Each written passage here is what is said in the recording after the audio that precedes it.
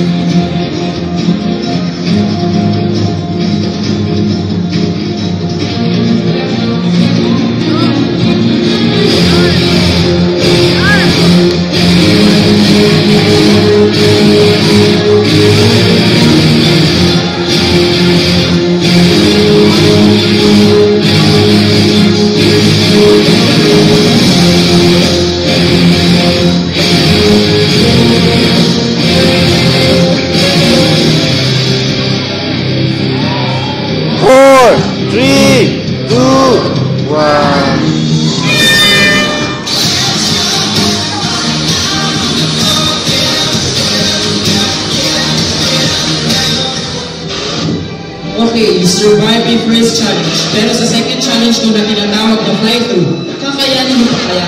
O mag-shift na lang kayo sa nursing o HRM?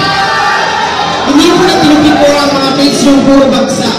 Papalibarin ko na sa labas ng autohan. Pero mas masaya kung kayo na lang ang magtapon ng mga ito. This challenge is called fly-through. Limang airplane ang dapat niyong ma-shoot through the hula hoops in one minute.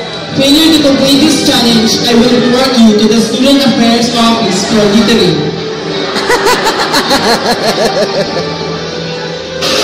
the game begins in 3, 2, 1.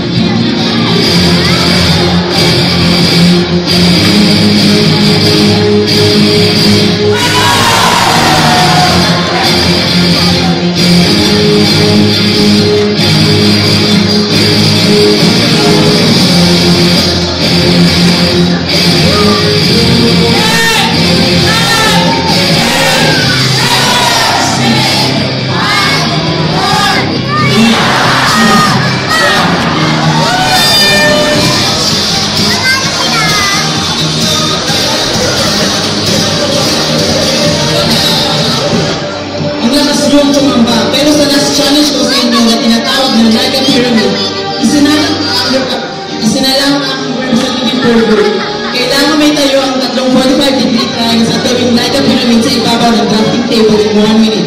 Failure to complete this challenge will expel you in the Department of Architecture.